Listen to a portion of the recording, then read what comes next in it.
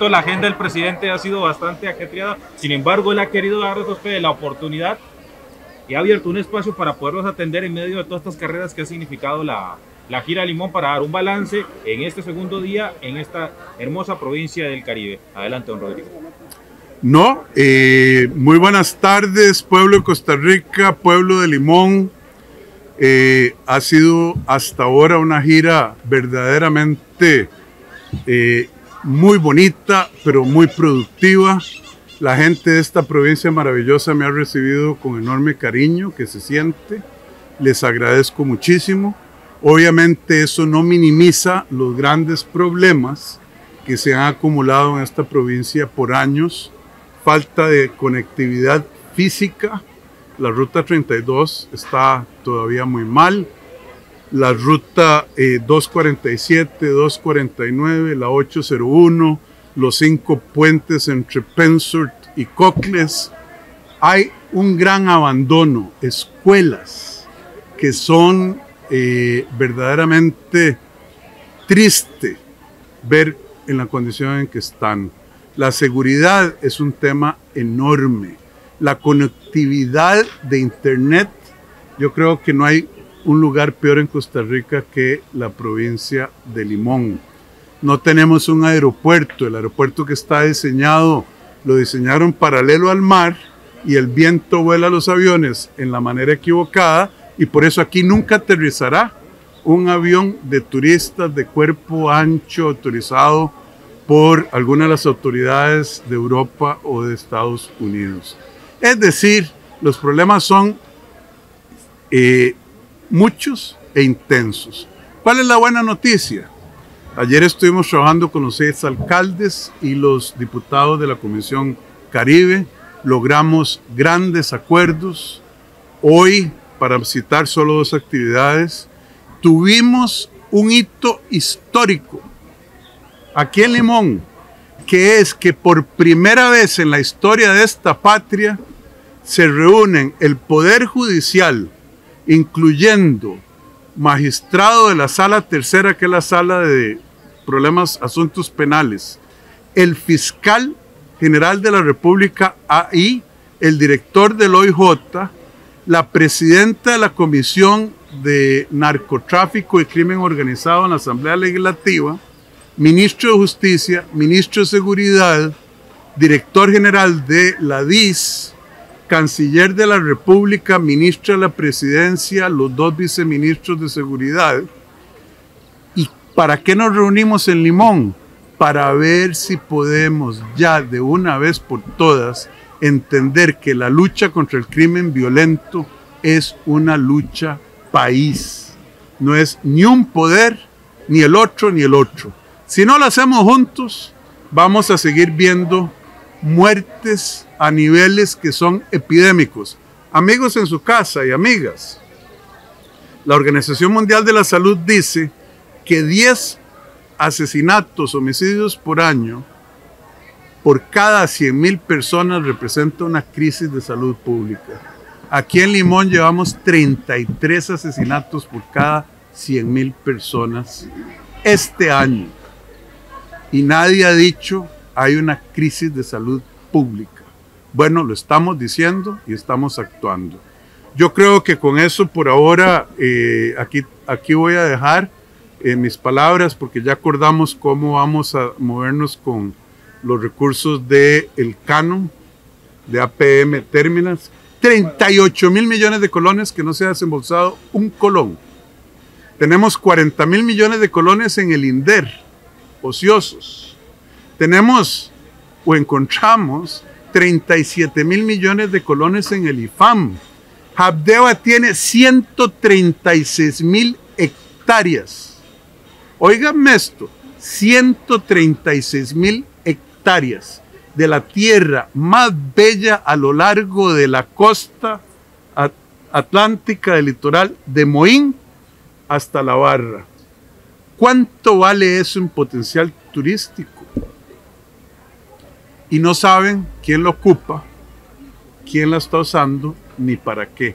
El ICT tiene 200 hectáreas pegadas a Moín, al, puerto, que están ocupadas por gente que no debería estar ahí. Y no lo digo solo porque estén en precario, sino por lo que hacen ahí. Y Limón lo sabe. Aquí veo a don Martín diciendo que sí. ¿Cierto o no? Entonces, eh, a eso vinimos y estamos trabajando duro.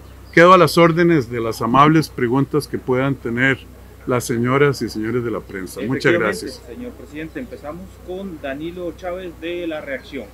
Muy buenas tardes, señor presidente. ¿Lo están oyendo? ¿No necesito micrófono? Eh, eh, no tiene micrófono, pero, pero no lo van a oír los otros para ver qué, la pregunta que van a hacer. Yo creo que sí alcanza con la voz de Danilo. Ok, arrímese, don Danilo, si aquí estamos todos en confianza. Venga, gracias, háblele aquí a los micrófonos, duro. Presidente, buenas tardes. A propósito del tema de seguridad ciudadana, que usted acaba de estar reunido en Pocosí, hace un par de semanas estuvo también en el país el subdirector de la Agencia Central de Inteligencia, don David Cohen, según agenda que, que se envió de parte de ustedes. Yo quería preguntarles en esa reunión con el subdirector de la CIA, ¿se abordaron temas de seguridad de Limón o temas de Nicaragua internacionales? Mire, obviamente eso es una reunión muy confidencial. Eh, yo no estoy listo ni dispuesto a empezar a conversar qué es lo que, qué es lo que transcurre una reunión entre el presidente de la República y uno de los más altos jerarcas de la eh, Agencia de Inteligencia Central de los Estados Unidos, el segundo. Sí le digo que el tema de Limón estuvo en la conversación y las causas de por qué en Limón hay tantísima violencia fueron parte integral de la conversación y fue el tema en el que más tiempo gastamos. Muchas gracias, don Daniel. Continuamos con Laura Brenes de Noticias Repretel. Don Rodrigo, buenas tardes. Eh, hidrógeno verde, ayer lo pasaron a la sala constitucional para consultas. Tenía entendido que usted no estaba de acuerdo con algunos artículos del proyecto. ¿Lo vetaría usted ese proyecto de ley? Vea, doña Laura, primero mucho gusto saludarla, gracias. Yo no eh, elaboro sobre hipótesis.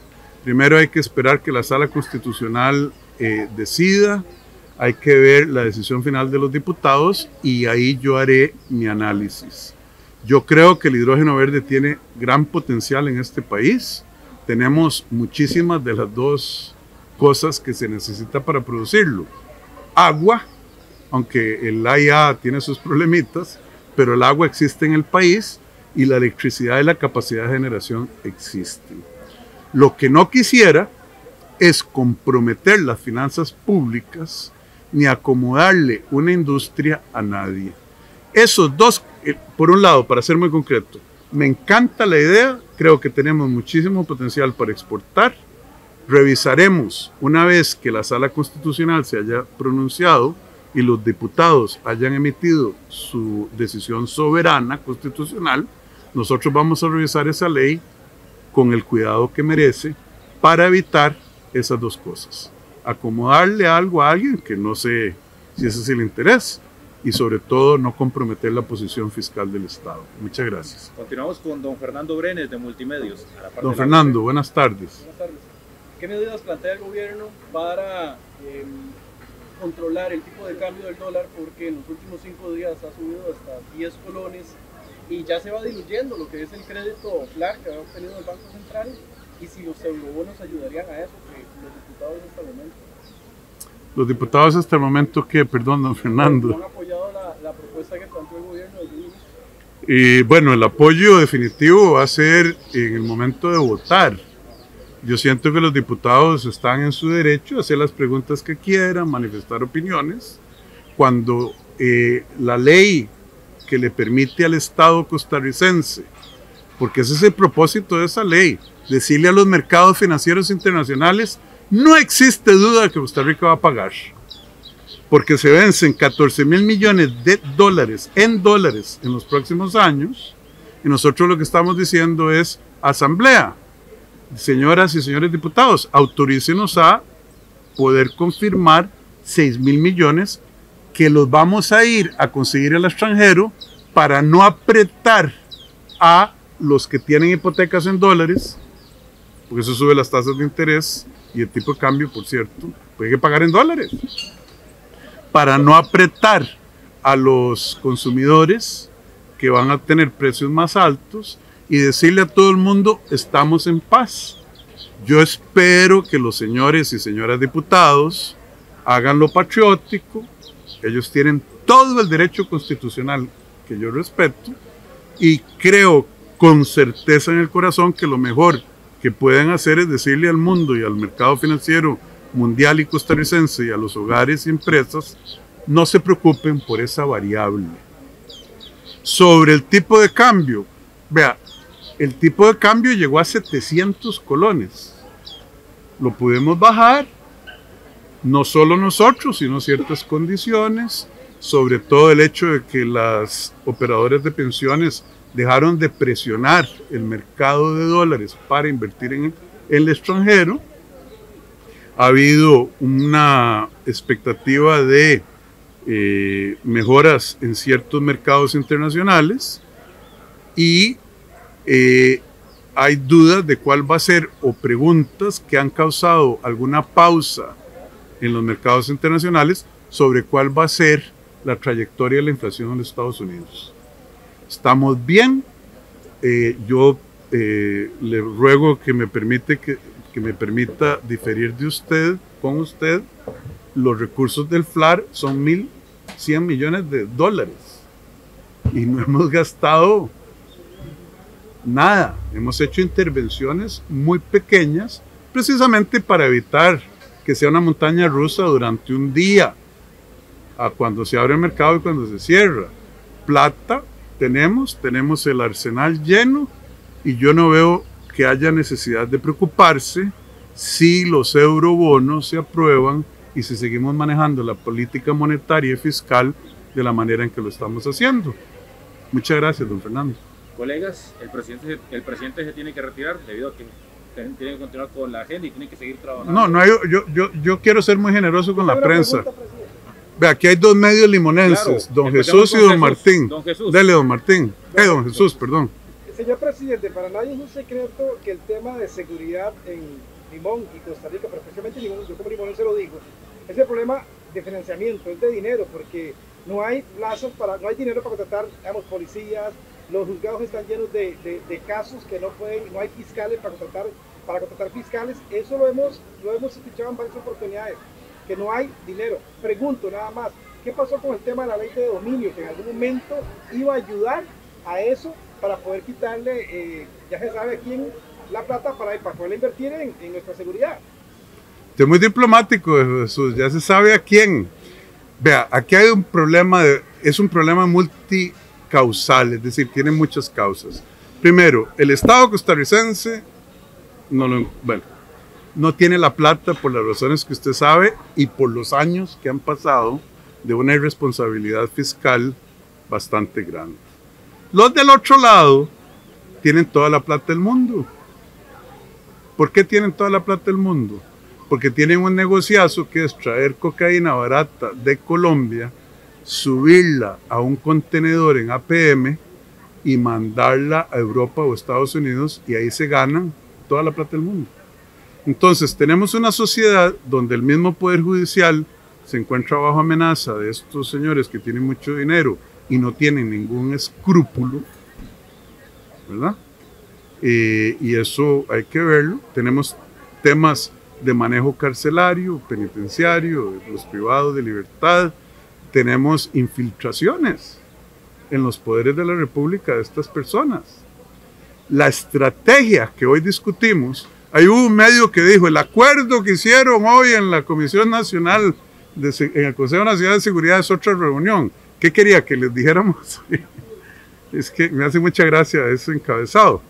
Este, nosotros estamos trabajando y buscando una estrategia, porque sí le garantizo que el pueblo de Costa Rica no está dispuesto a tirar la toalla, rendirse y convertirse en un narcoestado.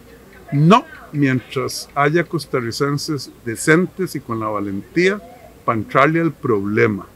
Y no va a ser fácil, don Jesús. No va a ser fácil. Pero con la ayuda de Dios vamos a limpiar eso. O limpiarlo. O lo limpiamos o lo limpiamos. Usted escoja. Eh, don Martín, muchas gracias, don Jesús. Gracias, buenas tardes, eh, señor presidente. Ayer cuando usted llegó precisamente a la comunidad de Jiménez de Pocosí manifestó, vengo a escuchar los problemas de los limonenses, pero hoy se quedaron esperando que, que escuchara usted los problemas en el sur y nosotros nos distinguimos precisamente por ser la voz del pueblo limonense. Yo quisiera ver qué le puede explicar usted a los limonenses que no pudieron manifestarle sus preocupaciones. Absolutamente, nosotros estábamos en la Earth, porque anoche en esta universidad que se llama la Earth, en Pocora, ¿verdad? Eh, de ahí nos trasladamos hasta Bribri. Después de, bueno, empezamos un paso para atrás. Anoche nos quedamos hasta las diez y media de la noche, que no es muy tarde, pero es un día largo de trabajo, 6 de la mañana a diez y media de la noche, con los seis alcaldes y los diputados de la Comisión Caribe, acordando cómo vamos a hacer con este, la plata del canon ¿Por qué no se ha desembolsado en años un colón? No es que es poquito, no. Un colón no se puede desembolsar. ¿En qué lo vamos a desembolsar? ¿Cuáles son las reglas del juego? Acordamos el primer plan urbano de la provincia, del cantón central de Limón, o del cantón de Limón, mejor dicho, en 60 años. Listo. Lo mismo en Siquirres nunca había tenido uno, si lo, tuvo fue, nadie se acuerda, usted no se acuerda, y usted, usted que tiene, así como yo, ¿verdad? Entonces, a las 10. Hoy a las 6 de la mañana empezamos, empezamos la sesión de trabajo, fuimos hasta, hasta Bribri con la comisión afro de el cantón de Bribri de la municipalidad. Tuvimos un atraso técnico íbamos a parar en, sí, sí, un atraso técnico. Usted sabe que las máquinas a veces son caprichosas, la gente, las reuniones. Tenía, queríamos parar en Puerto Viejo a un festival de comida. Pero en vista de que ocurrieron eventos, la pregunta era, ¿aterrizábamos en Puerto Viejo? Yo o nos veníamos al Consejo Nacional de Seguridad. Es una decisión. A mí me hubiera encantado ir a comer ahí las cosas exquisitas limonenses. ¿Qué hicimos? Mandamos al gabinete a compartir con ellos, a escucharlos, y yo vine a trabajar a una actividad menos placentera, a la escuela de policía en Guapiles, o en Pocosí mejor dicho, desde Bribri, para atender a los jerarcas del Poder Judicial y a la presidenta de la comisión. Yo nunca me lo he escondido a nadie. Sin embargo, ahí andan diciendo, los dejó vestidos y alborotados, plantados. Es que no quería enfrentar. había un grupito de personas con pancartas pidiendo lo que nosotros estamos ofreciendo. Agua, conectividad, etc. Eso es lo que yo le digo al pueblo limonense. Lo lamento. Me hubiera encantado estar en esa actividad en Puerto Viejo, pero me pareció que el, el Consejo Nacional de Seguridad, la primera vez que se reúnen los tres poderes de la República para discutir los muchachos y muchachas que se están matando ahí en Cieneguita, era más importante que llegar yo a un evento eh, gastronómico. Que no le quito mérito, no vayan a salir, Chávez desprecia la comida limonense, no. En la vida hay que tomar decisiones y hacer escogencias. Muchas gracias, don Martín. Gracias.